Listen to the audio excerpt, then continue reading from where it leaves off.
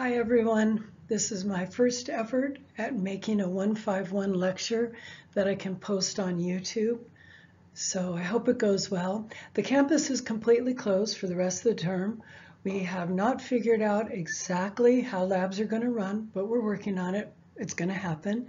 Um, and I would really like your feedback on these lectures. I'll be sending you this link uh, to the YouTube channel so you can view them when you've got internet, all right? Uh, in the meantime, I'm recording these from my house, so there is a not insignificant chance that you will get to meet at least one of my cats. In the meantime, let's get going. We're talking about muscles. Now muscles, this should be a review for you from 150. 150, you learned the names of lots and lots of muscles, and you probably looked at them also through the microscope. Let's real quickly go over what are the functions of muscle tissue. The first thing that muscle does, of course, is skeletal muscle allows us to physically move, but that's not all. Skeletal muscle also gives your body a certain stability. Um, if you've ever picked up a completely sound asleep child, you know how much heavier they feel when they're sound asleep. And that's because without conscious muscle movement to stabilize all of their joints, um, they they feel very different when they're picked up. Um, for those of you going into nursing, you should remember that not just paralyzed patients, but also completely unconscious patients, patients who have been um, anesthetized, they need to be handled really carefully because their body is not protecting their own joints like the joints of their neck. But muscle is also responsible for every time any substance gets moved in the body. For example, your heart beats so that blood can get moved throughout your body and it's our transportation system. Um, your mouth, when saliva goes into your mouth, the reason it went in there is because there was smooth muscle here in the glands that contracted, gave a little squeeze, and they're squeezing the saliva into your mouth. And then things like your stomach, right? Your stomach and your intestinal tract, that's also smooth muscle. And when food gets moved, you know, from your stomach down to your small intestine and on its way out, that is all going to be the uh, movement of smooth muscle. But muscle is also important for heat production, um, and that's easy to forget. The more uh, skeletal muscle an individual has, the easier it is for them to stay warm when their environment is cooler than they are. Now, most of the time our environment is what, 72 or something like that, sometimes colder. Um, the reason that in any individual household or office where people work together, that there will be disagreements about the proper uh, temperature to set the thermostat at it is largely because of the amount of muscle mass and body fat that people have. If someone's got a lot of muscle mass, it's generating a lot of heat. If that person also has got quite a bit of uh, fat, that is insulating that muscle mass. Those are two things that are going to make those people feel warm at a much colder temperature than perhaps a, uh, a slender older woman who has very little muscle mass. Um, keep this in mind, particularly when you're dealing with chronically ill individuals. Uh, you as the nurse, as you're racing around and you're able-bodied in a hospital, you might feel quite comfortably warm. But one of your patients that has lost a significant amount of muscle mass because they're fighting a chronic disease like kidney disease or cancer, um, and they're just laying still in bed, they are a lot colder than you. They are not just complaining. So this is what different types of muscle look like through the microscope, and you should be familiar with this. This is also 150 material. Uh, part, ooh, I'm going to try and see if I can get the laser pointer to work? I do not see a laser pointer. How about here? No? Oops. Okay. Well, I don't know if a laser pointer is working, but uh, the, this image that is on the left of your slide that says A, that is skeletal muscle through the microscope. Uh, the image that's marked B, that is smooth muscle through the microscope, and the image marked C, that is cardiac muscle through the microscope. And written right here on these different images, I've shown, I've indicated the really important things to remember about these different muscle types. Uh, skeletal muscle is striated, which means it's got stripes, okay? So there's a stripe and there's a stripe. These stripes are what make it striated. And skeletal muscle is voluntary.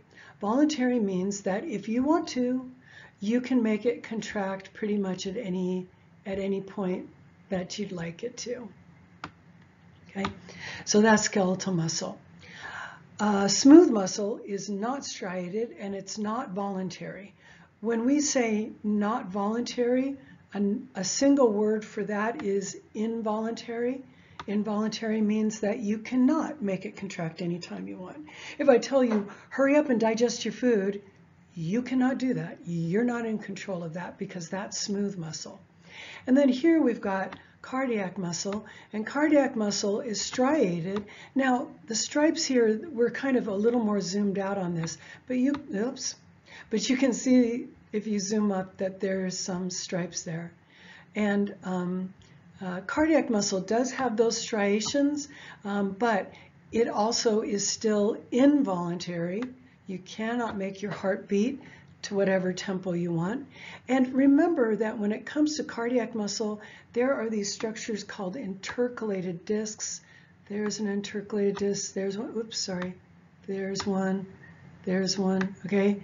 These, sorry, these intercalated discs, um, they are um, really important to the way cardiac muscle does its job.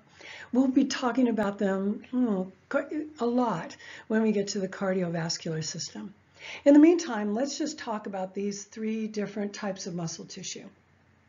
Let's start with skeletal muscle. The descriptions of muscle physiology, muscle cell physiology that we're going to be talking about, that is specifically about skeletal muscle. Cardiac muscle's got a little bit of a tweak.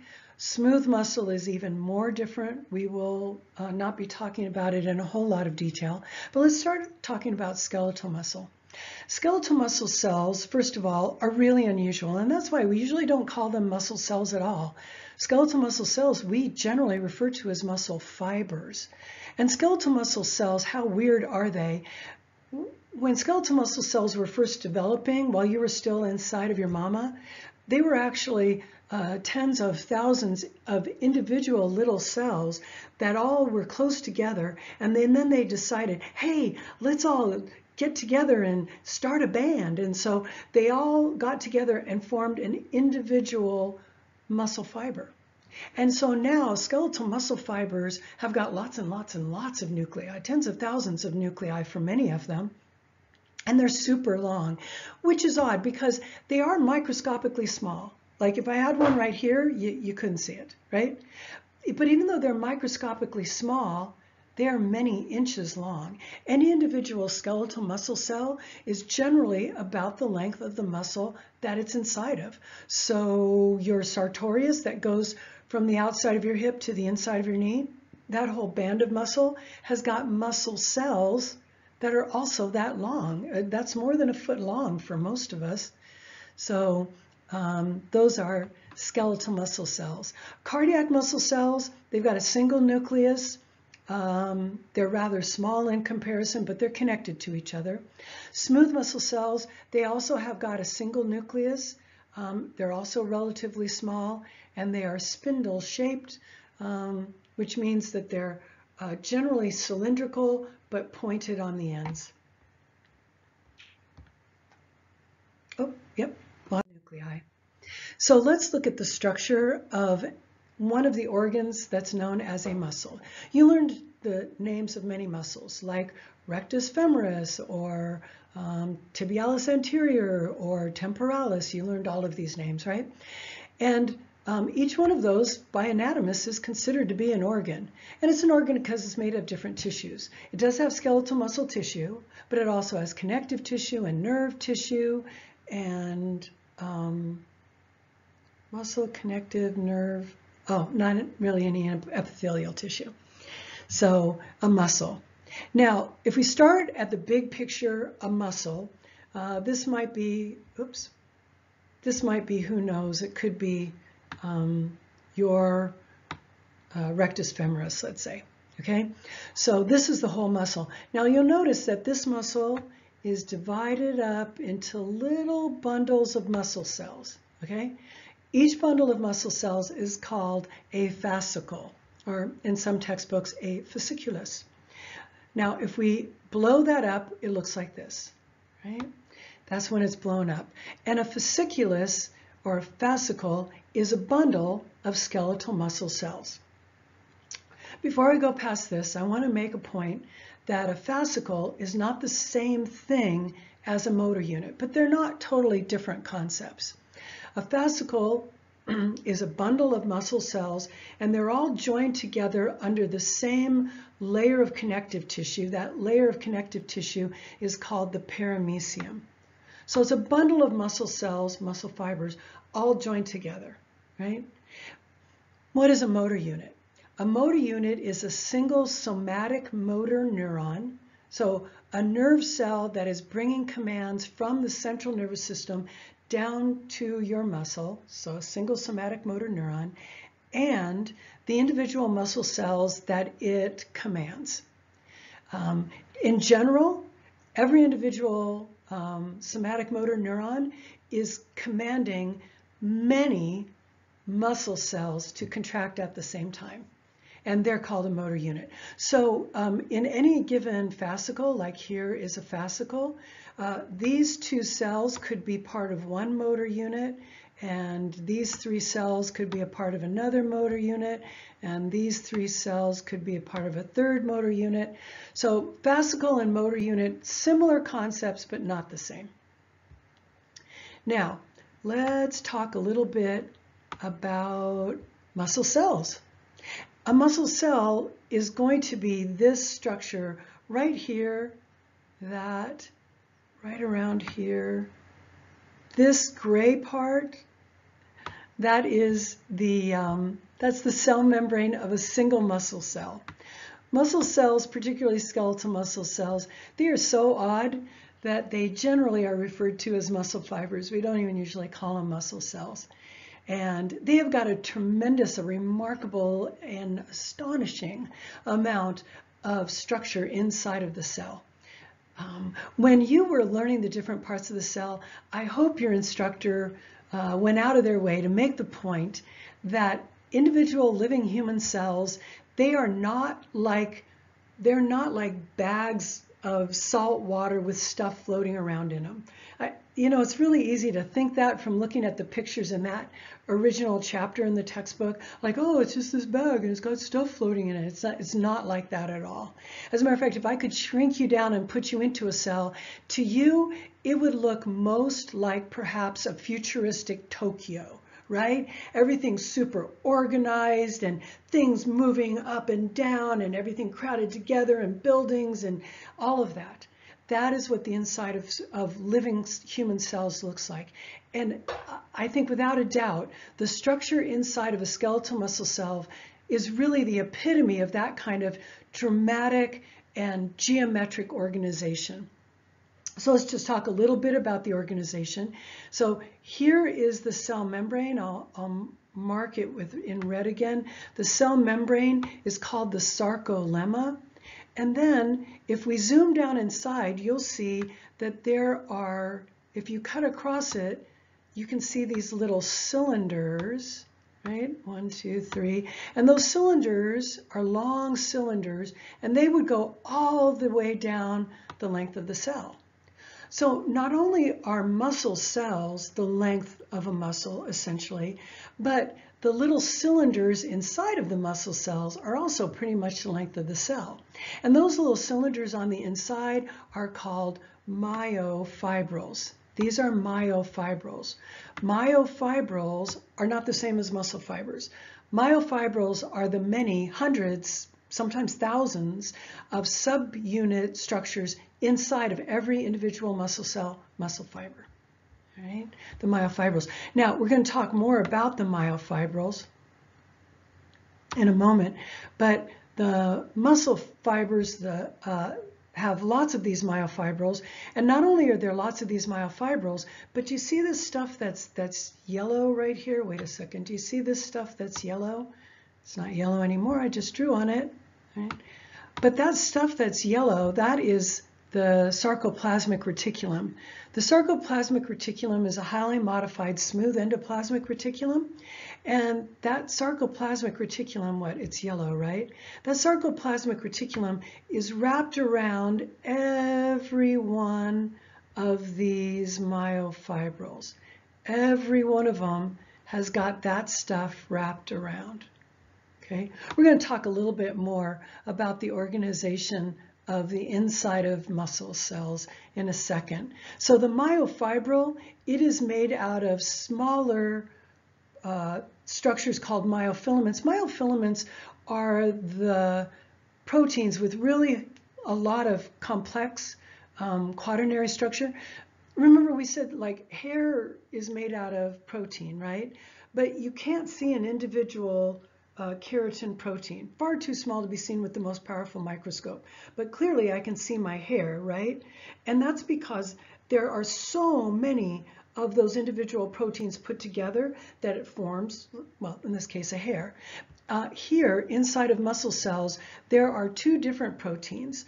Um, the two proteins, actin and myosin, and those two proteins, they uh, form such huge quaternary structure that they show up as these myofilaments, myofilaments, and myofilaments are made out of the protein, proteins actin and myosin.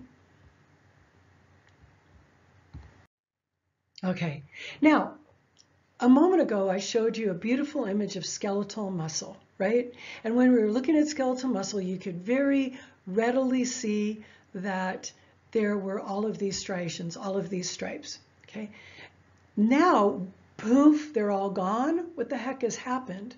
Well, I want you to imagine that like right here, I've got, whoops, right here, I've got a part of a skeletal muscle, right? It's this really long fiber, right?